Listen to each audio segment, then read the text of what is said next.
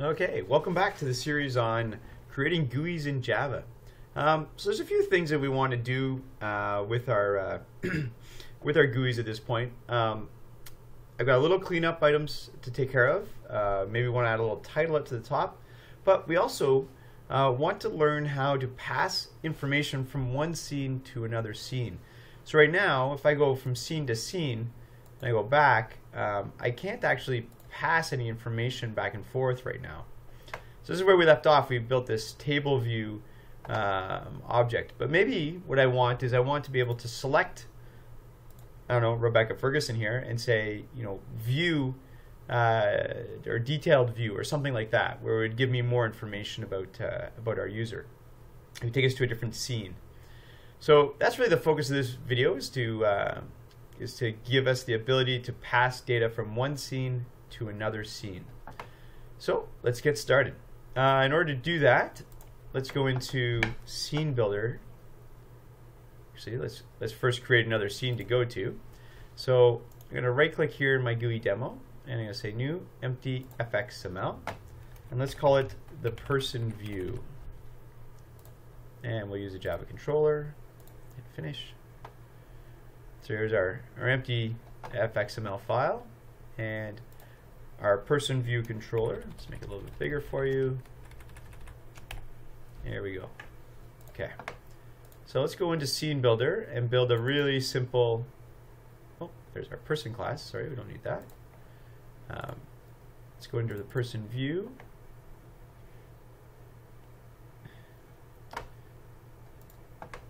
So we'll make it the same size as our other screens. Go to Layout, I believe we were 800 by 600.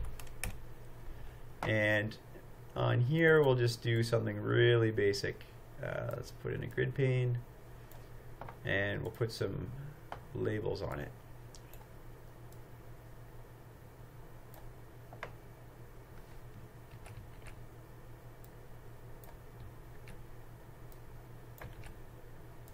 I'm just copying and pasting these labels everywhere. Um, add row below. Okay. This one's going to be the first name, last name, birthday. So this is sort of the same information available in the uh, table view, uh, but we also have the ability to uh, figure out their age based on their birthday. So we'll put that in and we'll add a button to go back. So the back button. Hit save. Actually, let's make each of these just a little bit bigger so they're more interesting.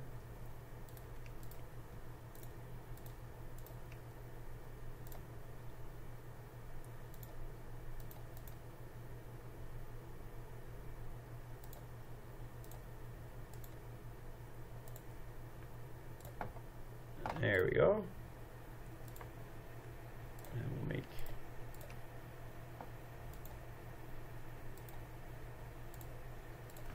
Okay, so the font's just a little bit bigger.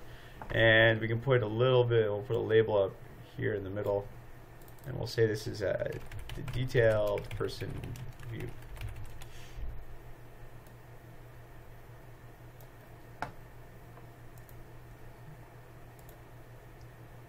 Make it massive.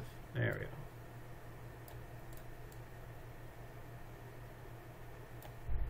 go. Just uh, move our grid down here.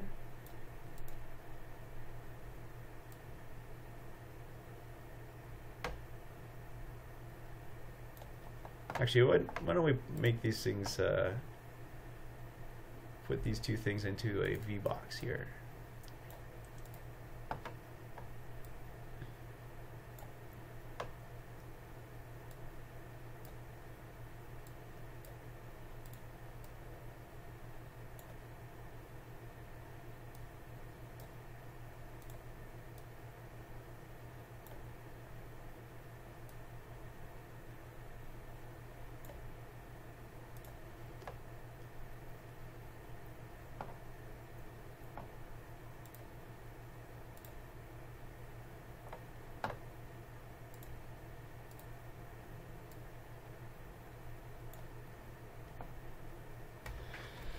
Excuse me.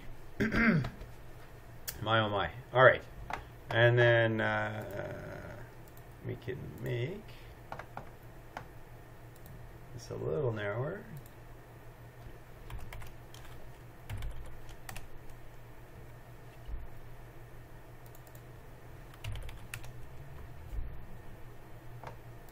And then within our V box, we can make everything centered. And put some spacing between the items. Mm, a bit more. There we go. Now we're good. Okay. Hit save. And then the other thing we need to do is we need to adjust our uh, table view. You're going to need to add a button to this. So here, can add button.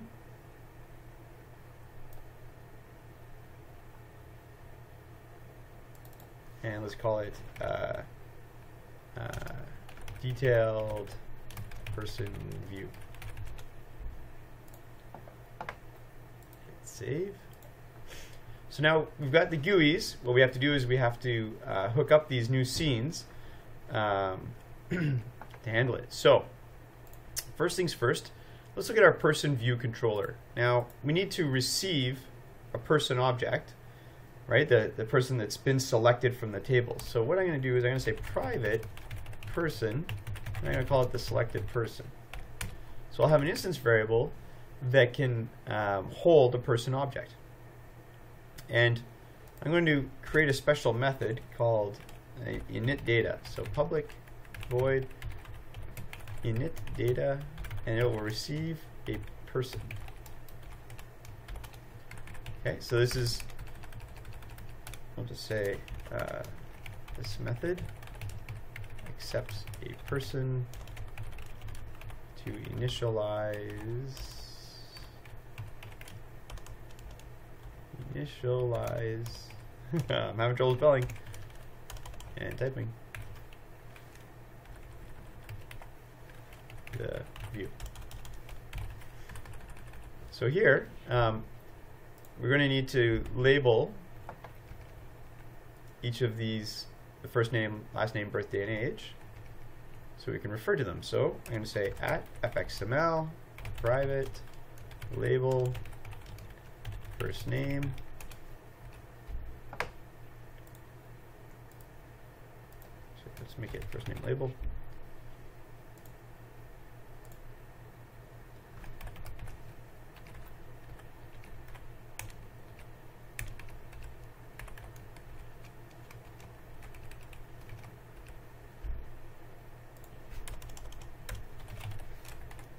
have the last name, the birthday, and the age. So if I pass in a person object, right, the first thing I'll do is I'll make them the selected person. So I'll say selected person equals the person that was passed in. And then I can update all these labels with their information. So I can say first name label, set the text to be the selected person. And I can say get their first name. And I can do the same thing with their last name.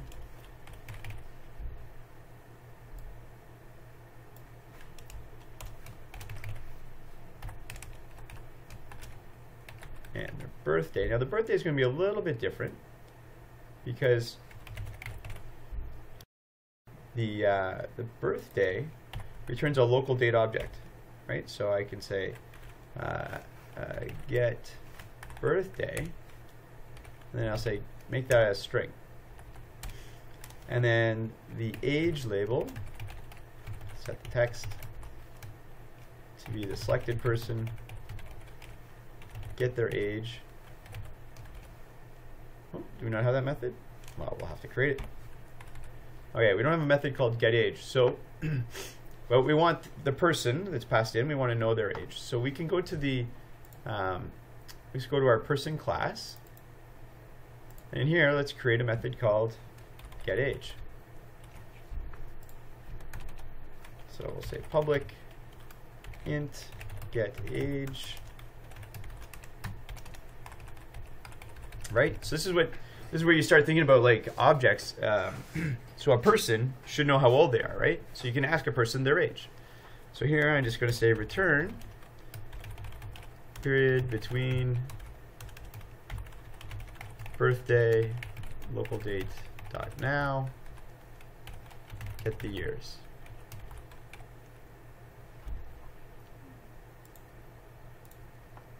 Okay, so what this does is given the person's birthday and whatever the current date is, right? So it always it always looks at the current date. Tell me how many years are between. So now we go back to our controller here. Save. This returns an integer, so we have to convert that integer into a string. So um, there's a few different ways of doing it. Um, we can just do integer dot parse int sorry, parse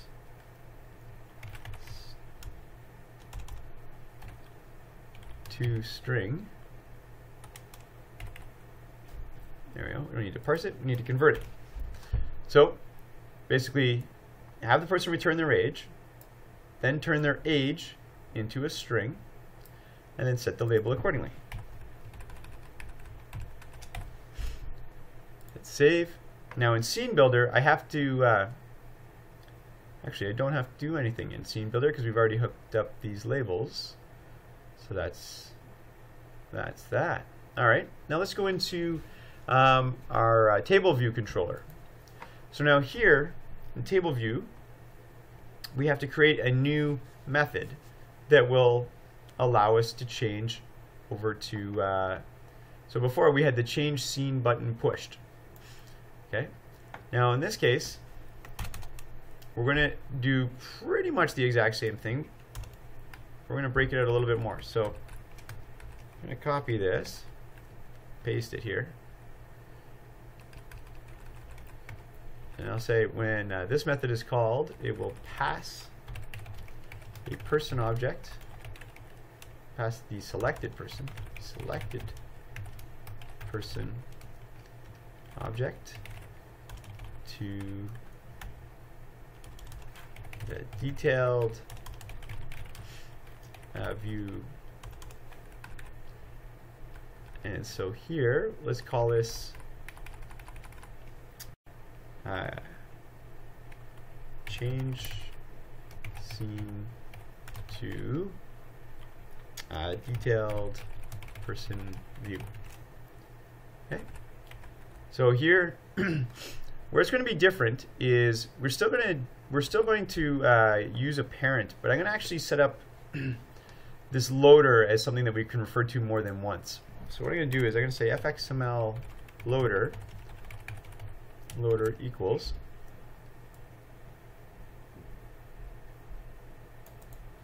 new fxml loader. And now that it's an object, I can say loader set location, whoops,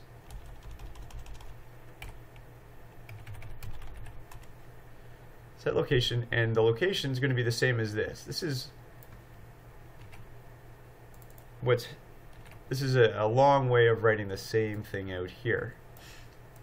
And then what I can do is I'll say loader dot load okay so these three lines are equivalent to this one line here. But there's a reason that I did it. And although this breaks it out a little bit more than uh, we're used to seeing, what this allows us to do is, oh, we need to update our document. So this one's called the person view.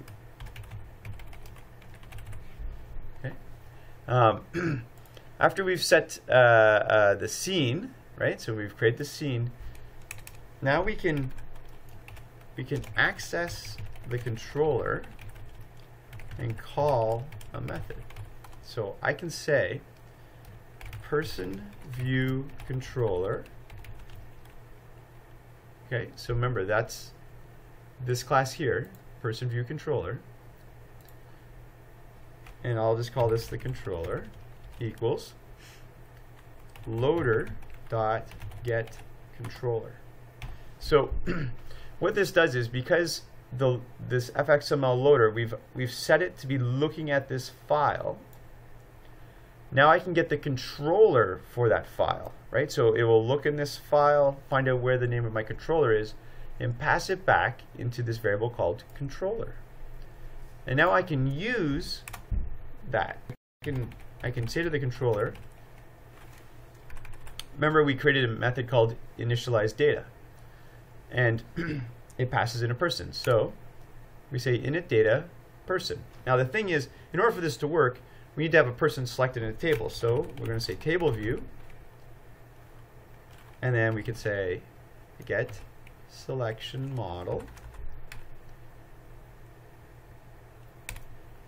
And then we can say selected item. So what that does is it will return a person object. Okay, so our table returns a person.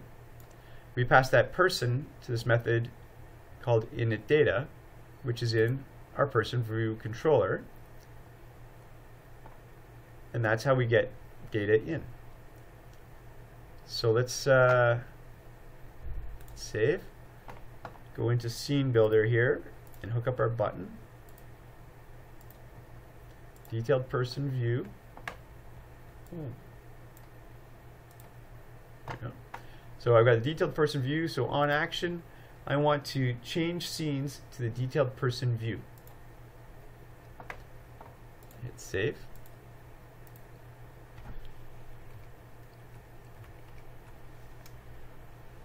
All right, let's hit the run button here. Go to table view, select Rebecca, click on the detailed person view. Oh, and it blows up. So what's going wrong here? So we got a null pointer exception in init data person view controller line 30. So when we uh, tried to set the text for first name label, we got a null pointer exception. So you, there's a couple of reasons you can get those. What it means is we've defined this first name label, but we haven't necessarily initialized it, so it's currently null. So let's go into Scene Builder here. If I click on my label, look at my code. Ah yes, I have not set these, so we have to set them up. First name label, last name label, birthday, and lastly, the age. And we hit save. So because I hadn't uh, connected these up in our in our view, um, when the controller tried to refer to it, it was getting null. So we can close that. Let's try it again.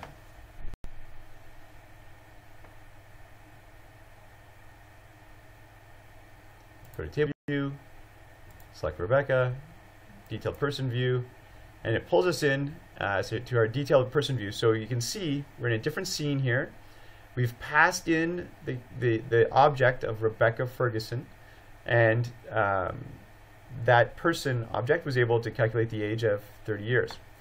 Now if we click back, it doesn't do anything yet because we haven't created that method yet. So close that. And in our person view controller now, what we need to do is very similar to this. We need to, uh, just going to copy this exactly here.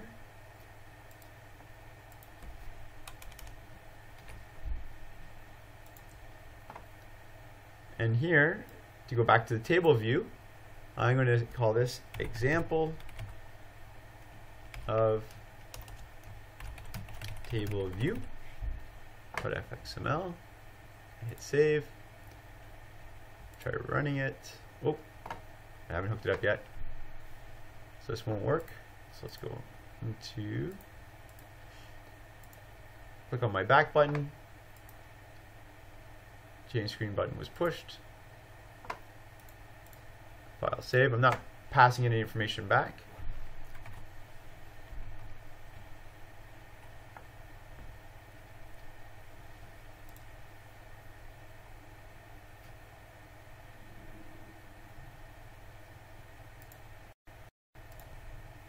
Try Mr. T this time. Detailed person view. It works. I hit the back button, and it comes back. So there you have it.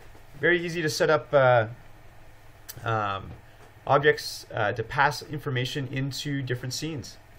Hope you enjoyed the, uh, the video. I am going to upload it to GitHub, and you can always access my code from there.